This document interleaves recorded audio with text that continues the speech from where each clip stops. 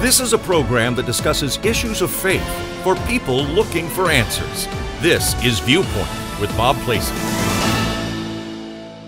What happens when fed up citizens turn an engineer loose on the political swamp? Well, we're going to find out today because the author of the book, Wrestling Gators, Patrick Colbeck, is with us, and he was a senator in the state of Michigan, the first one elected without any political experience at all. That is amazing. How do you do that? Well, uh, actually, you don't do that. You you put yourself on your knees and you let God uh, open the doors.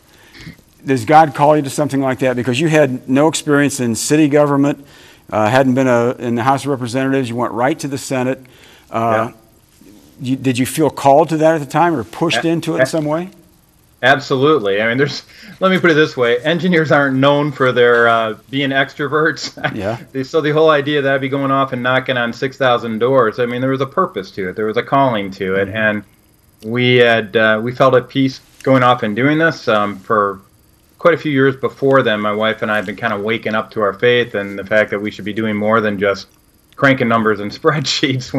um, and uh, and this is one of those areas where we started getting more politically active back in the 20, uh, 2009 timeframe, frame, back when the Tea Party got started up. Yeah. And we actually went to our first uh, political event ever. It was actually the Tea Party rally on April 15, 2009. Met a whole bunch of folks there, started getting plugged into different events, started going to office hours. And, um, you know, next thing you knew, um, we were actually uh, being called to actually go off and run after attending a office hour for a gentleman that was going to be running for the position I eventually ran for. And uh, the guy lied to us. We had done our homework beforehand, and I go, man, anybody that can lie this easily, I don't want him representing me up in Lansing. And so we went off, prayed about it, gave God a deadline because we want to be very specific. And uh, deadline was February 21st. On that morning, uh, our, my devotion read uh, from 1 Corinthians 9:24. For many run in the race, but only one gets the prize. There's Uh, a run in such a way as to get the prize, Yep. and that's exactly what we did, and that's what kept me out there knocking doors from 10 a.m. to 7 p.m. every single day, Did except you- for Sunday. Did you go into this with your eyes wide open, or is it better off to be a little bit uninformed about what, what really happens in politics? Well, actually, my background's in management consulting, so I mean, I'm used to dealing with people and uh, understanding that I'm I'm not the one who can always make the final decision about how we proceed on things, but uh, you have to influence people to go off and see things your way, and you're always dealing with different characters in that kind of environment. So, uh, politics, frankly, wasn't a heck of a lot different from management consulting, and frankly, my first exposure to politics was on church council anyway, so I was I was well equipped from that. But no, normally, when you're doing a uh, negotiation in a business sense, you've got two sides to the negotiation. You're going into a two party system, but you're not extremely popular with either side of that.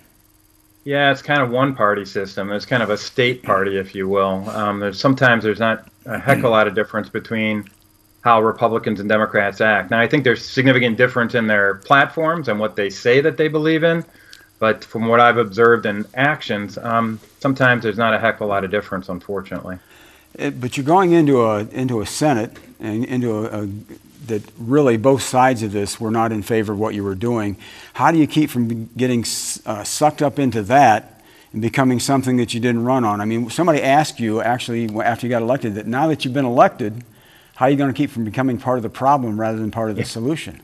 How did you yeah, do well, that? we put we put down a little uh, a a set of guidelines for me on every um, bill that came before me. I put together something I called the compass. It was my voter compass, and so I would always stay calibrated on what I told the voters I would do. I wrote these principles down. I had some simple uh, um, questions I would ask myself before every bill came up before us or before I pursued any given policy, like is it constitutional? Will it make it um, uh, is it applied equally to everybody in the state, which is something that is probably one of the more uh, commonly abridged uh, um, elements of our Michigan Constitution with the laws that are passed because uh, they always seem to favor one group or another. And so, and one of the my favorites, I guess, is easy enough for an eighth grader to understand. That's a good And, one. Uh, yeah, because there's a lot of a lot of laws that get passed that are deliberately setting it up so that you can't interpret whether or not you're following the law or not. And Stalin had a nice little expression uh, back when he was in power in the Soviet Union. He said,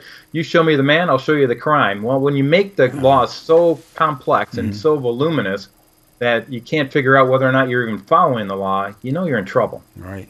Uh, one of the chapters I haven't gotten to yet in the book is what happens, and I, this is this is a tough one. What happens when one upsets the swamp? Because you're looking at draining the swamp, and the swamp's been there for a long time. What happens, and what kind of repercussions do you get when you're upsetting the apple cart and you're not a popular person?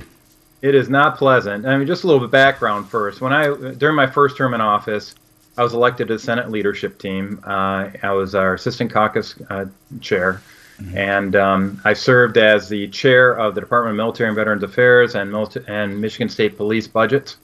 Um, and during that time frame, we turned, we converted all those budgets into performance-based budgets that we were like one of the last states when it came to veteran services. By the time I was done with my four, four years there, we were number two in veteran services, and we had uh, eliminated uh, three out of the top out of our four um, cities that were on the top ten crime list in the in the uh, in the whole country. Um, so we had serious improvements. Now you'd think coming out of that, when you start Yeah. your second term, they'd be looking for you to go off and take on additional responsibility. But Certainly. that's not what happened because, see, during that first term, and mind you, uh, we have a Republican majority. It's a super majority in the Michigan Senate. We in the first term we had 26 Republican senators out of 38 senators.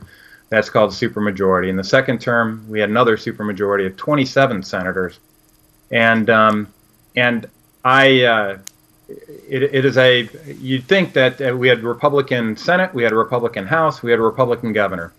Yet during that first term, we passed Medicaid expansion. We passed taxes on, on senior pensions. Uh, we passed increased taxes for uh, gas taxes for roads. And uh, I was pretty vocal in opposition to those policies. And I was also vocal in opposition to something called Common Core around education. Um, and I, I thought that was a top down control of our education system. And I thought there was a lot of danger associated with that. Um, by the way, all the positions that uh, I had, I was on the side of the Republican platform Yeah. and Republican Party. Sounds I like the Republican platform. yeah, I expose. I I I, uh, I oppose the expansion of Obamacare, known as Medicaid expansion. I oppose Common Core, all, and I oppose all these tax increases unless there there's nothing else possible to go off and keep the government afloat, and that wasn't the case.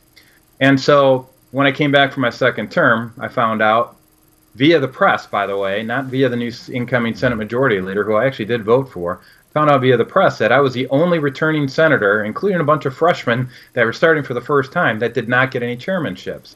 And I thought that was kind of strange. it doesn't sound right. Yeah, so I texted the Senate Majority Leader and I said, "Well, what do you mean? I, I what, is this true? I didn't get any uh, chairmanships." And he goes, "Yeah, you didn't earn it." I go, "Really?" I mean, I just talked to you about some of the accomplishments we had as chair. I mean, I can go into. I mean, right to work itself was a bit of an accomplishment, um, and leading that effort took a lot of effort. But uh, he said I didn't earn it, and I go, "Well, you know, we're going to have to have a little bit of a meeting, and I got to dig into this." And you know, I sat down with him and tried to understand exactly what he meant by "you didn't earn this." And he said, number one, you were too vocal in your opposition to Medicaid expansion. Um, by the way, I was on the Republican side of that. Number two, I was too vocal in my opposition to Common Core. Um, number three, said I underperformed in my district. And I just for background, I was one of two state level um, legislators that was targeted by the National Democratic Party. so they obviously saw a threat with me um, in that position. The, the fourth um, example he said was that I need to talk at more of an eighth grade level to my colleagues. So Ah. those were the reasons that he gave for not a not granting me a chairmanship. And I, I go, you know, this is a case where I, I was not mean to anybody. I did not target anybody, put pejoratives towards any of my colleagues, but I hit the policies with both barrels. And this is about um, freedom of speech. It's about representing the people that put you into office. And um, later on, I had a little discussion with the Senate Majority Leader, and he um, he made it clear. I mean, that's where the personalities come in. And when we talk about wrestling gators, Yeah. he's a prime example of one of those gators that bites inside the swamp. Uh, later on in the session, he actually uh, challenged me to a gun duel and pulled out his gun in the middle of caucus. And and just to show you the dynamics and the power that's wielded by a Senate Majority Leader, not one person stood up and said that that's something that should not be done. So wow, that, this a, a is- real a real get- gun. Hey, oh yeah, it's a he brandished his firearm and then challenged me to a duel um, in front of 25 of my colleagues, and and so this is a case where and I'm, I'm not a I, I don't throw bombs at people. I mean, yeah. this is just about being persistent. We had a disagreement on policy. Ironically, it was gun control policy. I was on the side of the Second Amendment, just for references, and um, and and so, but this is how disagreements are, are treated in today's amazing. society. We're not able to have a logical debate. It's like my way or the highway, and I just, oh. I've, I've, never been uh, born and bred to roll that way. If, if you were to flip the tables on that and you would have pulled a gun on him, you'd, you'd probably still be fighting a legal suit. Oh, no, it'd, it'd be horrible. I'd probably be eating uh, bread and water yeah. behind bars right now. But Patrick, thank you for the book. It's it's uh, an outsider's guide, and you were an outsider to draining the swamp, wrestling gators. Patrick Colbeck. Where can they get the book? Uh, you can go up on Amazon. It's probably the best way of getting it. And if you want to check into some of the policies that are outlined in there. Probably the best way to um, get plugged in is just go to morninginmichigan.com. It also contains a link specifically to the page in Amazon where you can get that. I really want people to understand how government works on the inside with this book so that they can be more effective in their advocacy. With social media, no one can be neutral about any topic. From racism to trade in China, our nation has become instantly offended when we hear someone with a different opinion other than ours. To get some insight on how the Bible looks at this, I spoke with Bishop Kyle Searcy from his church in Montgomery, Alabama. Hey, something we see uh, in the news a lot, it's all over social media, and it's the, uh, the quick labeling of, of people who dis- you disagree with as being hateful or spiteful, or if, if I don't agree with you, then, then what you're saying is hate language. Is that just for uh, today, or you see that growing uh, across the nation? Unfortunately, I do believe it's growing, Bob. Um, social media is a wonderful platform. It gives us the ability to know what's going on in the world. It's increased globalism. It's increased our ability to really be connected. But there are some aspects of it that are somewhat different. I often think about growing up in my neighborhood when somebody uh, would say something about you there was enough proximity for you to go to them and say, "Well, say that to my face." I don't know if you remember that. You're say that right to my there, face. Yes. yeah, you know, social media gives you the ability to say whatever you want to say in the privacy of your home or on your cell phone, uh, and you don't have to face the individual, with the exception of possibly being unfriended. Yes, that will really ruin my world. So it's given us the ability to be vocal. And it's given us the ability to take on other people's offenses that may not even be our issue you know, somebody in uh, Mississippi, or you know, somewhere across the world can experience something that all of a sudden we begin to take on angst and anger based on something that happened to someone else that we don't even know, never met. So it creates a, a great deal of mob psychology. And I believe all of that together is beginning to build and create a climate where people are beginning to put these easy labels on things, and uh, the issues are more complex the easy labels. And one of those labels is uh, that aspect of hate. Do you think that uh, the, the, taking up of, of, somebody else's offense, uh, you, you, you, grab hold of that offense, it's not yours, you see some injustice, maybe a, a, a, true injustice, and you take it up, you think that's kind of assuaging my own guilt? I'll take up their offense and I can be, I can, I can be angry about that, but it sets aside my own guilt for maybe doing that same thing to somebody at some other time in my life. Well, it can be. Yeah, it certainly can be. You know, uh, the scripture says, Physician, heal thyself. Uh, Jesus, when woman was caught in the act of adultery, said, He is without sin, cast the first stone. And I think that oftentimes we don't look inward. Uh, instead, we look outward, and it really is easy for us to, and it goes both ways. We can see somebody mistreated, and it could bring up the pain of our own mistreatment and injustice. And at the same time, we could actually take somebody's burden, it could cover up our uh, our guilt in doing that to someone else. In today's society, uh, when we look at what's going on right now, is some of that legitimate? I mean, we see a, we've seen a lot of injustice. We've seen a lot of racial hatred. We've seen a lot of, of, of, of just hatred between regions and different kinds of social injustice. Is some of it legitimate and then it grows from that? You know, I, I'm going to crack a little joke here. Uh, I, I don't know that that's I don't know that that's a legitimate question. No, I, I don't really mean that. That's really a joke. Uh, the, the, the, the, the, the, way I mean that is I, I've spent a lot of time thinking about this. How much of the world do we spend time trying to change, and how much of the world do we learn to ride with and point it in a, in a better direction? And it, it, it just kind of is. You know, uh, again, social media gives us the ability for a lot more of what people are thinking and feeling to begin to be manifest. But a microscope is not wrong. Um, read a story years ago about a guy who looked at something in a microscope and didn't like what he saw, so he picked up the microscope and threw it across the room and broke it. Well, that didn't change anything. So what, what social media is doing is amplifying what is, and, and since it is, what needs to happen. And I think what needs to happen is, is uh, again, uh, I, am quite prejudiced in this, but I'm blatantly prejudiced in this, and I'll admit my prejudice in this. The gospel is the answer to the world's problems.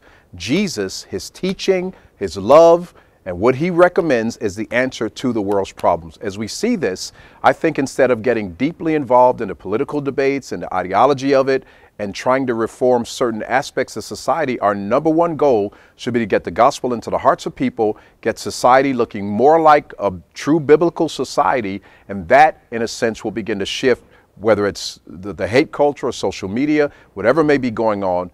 We have to go back to the foundational answer of that question. Everybody will not embrace the gospel, but history proves out societies that have a Judeo Christian ethic, mindset, morality, tend to fare better in every area of society. People who decide to honor the Ten Commandments and live by the Ten Commandments, those societies are a lot better in every respect, and every aspect. So I think we have a responsibility to light the light, not take a light and put it under a bushel, not get uh, absorbed into darkness, but to actually light a light, be that city on a hill, and begin to manifest the nature and the culture that Jesus brought us in this earth.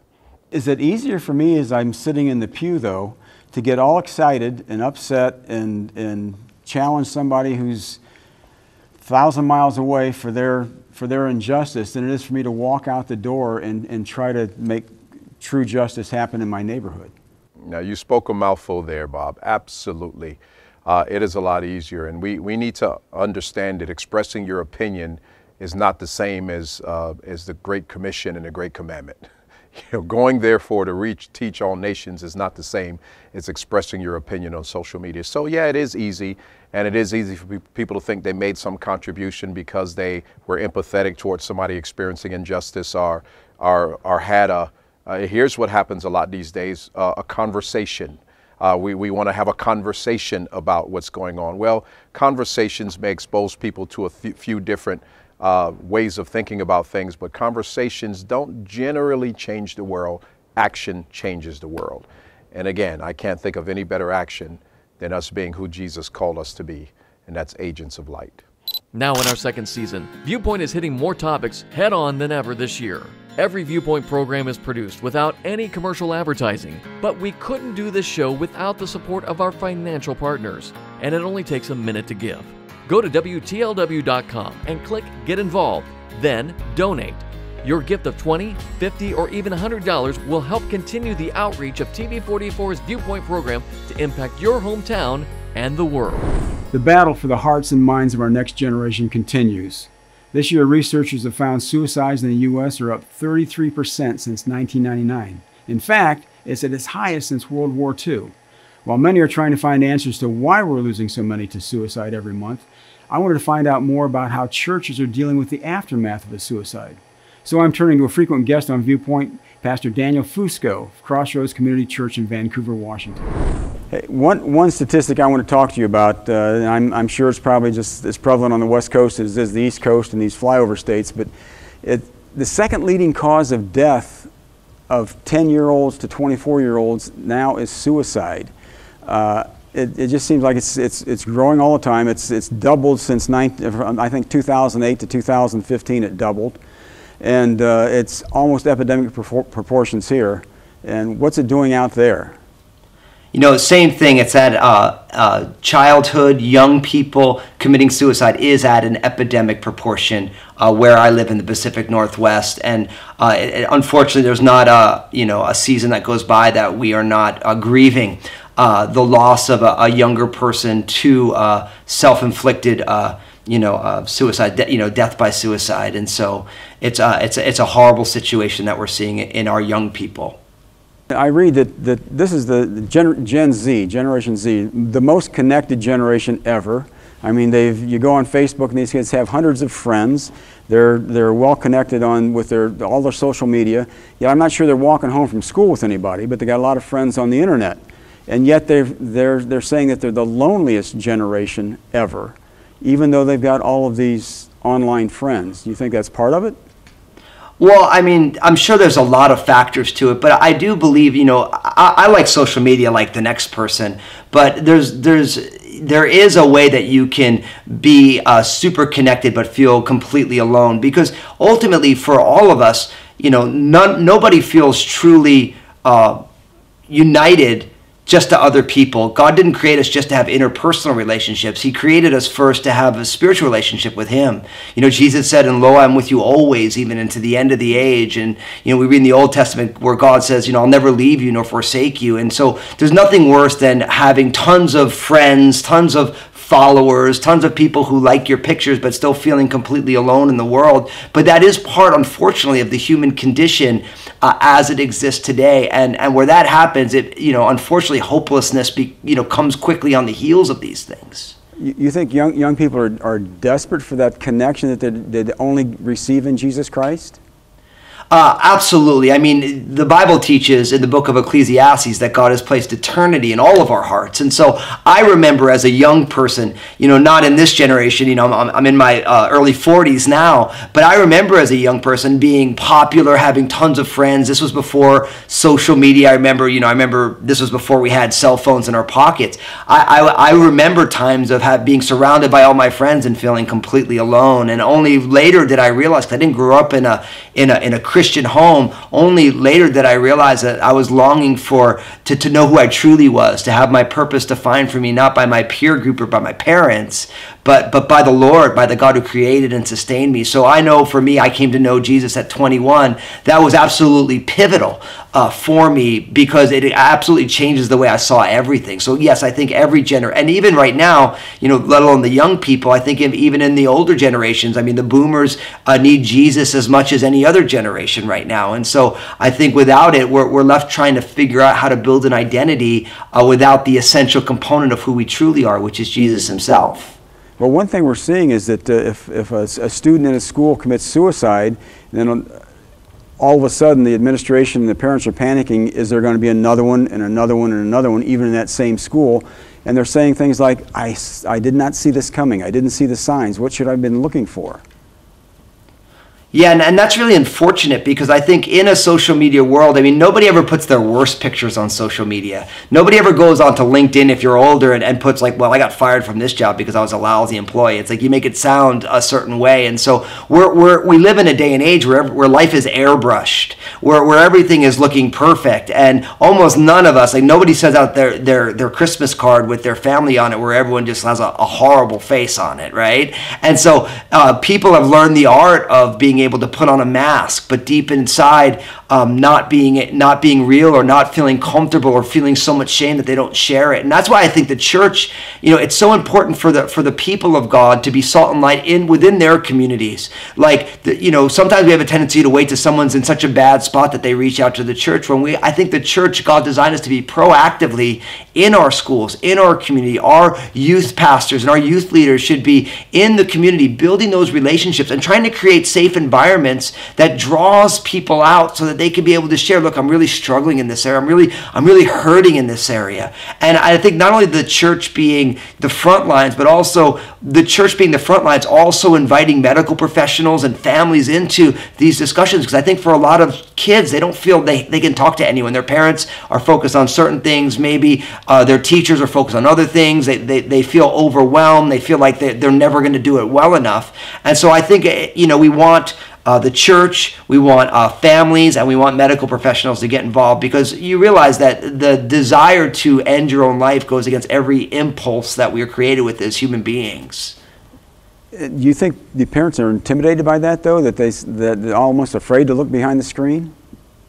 Um, so that that's a great question, and and I think for oftentimes like we, we, we want to believe that our kids are doing well. I think inherently, like as a parent of three kids, you know, part of what you're doing, you look at yourself and you say, you know, I hope I'm doing a good job, and and, and when they're struggling, we have a tendency to maybe look over that and say, oh, maybe it's not that bad, you know. And so I, I know for me as a parent, one of my goals uh, is to be able to have a great relationship with my kids can tell me anything. They can tell me the good stuff and the bad stuff. And and and my bride Lynn and I have worked really hard to cultivate that. Now, as our, our oldest is in his early teenage years, we're seeing that we're grateful that we we laid that foundation. But now we're hoping that that foundation is going to hold for us for the, you know the next 10, 15 years as as he moves his way you know through adolescence and the teenage years into adulthood. And so I think we we, we want to be able to open up those conversations. I think even being able to you know, talk to kids and saying, listen, you know, I was re- I was watching this TV program and, and they were talking about the, the epidemic of suicide and, you know,